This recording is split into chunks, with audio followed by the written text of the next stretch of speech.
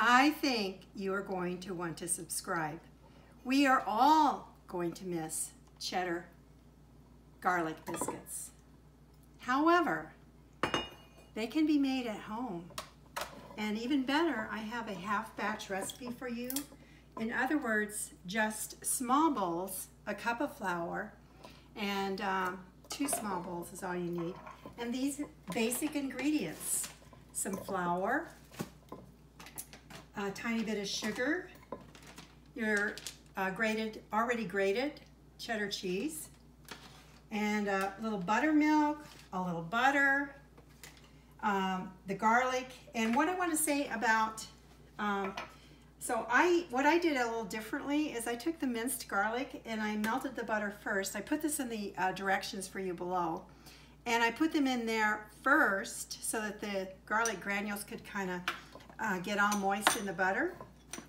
And the other thing I wanted to say is that when you have these dried herbs like parsley, oregano, they do not last forever.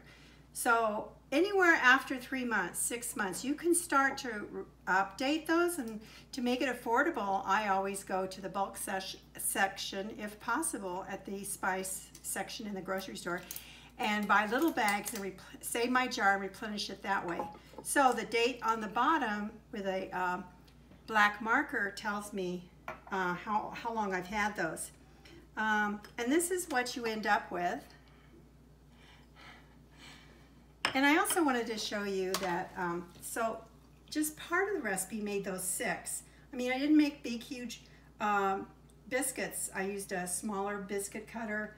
You can make them as big as you want. But I wanted to show you that you don't over mix biscuits. They just take a few minutes. You don't knead them. You just very lightly, and they didn't even need flour on the uh, rolling mat.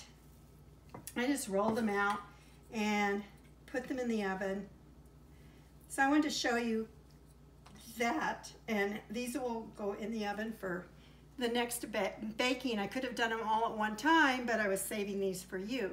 So please subscribe. This is Get Real in the Kitchen with Diana. One take, live from Denver. See you next time.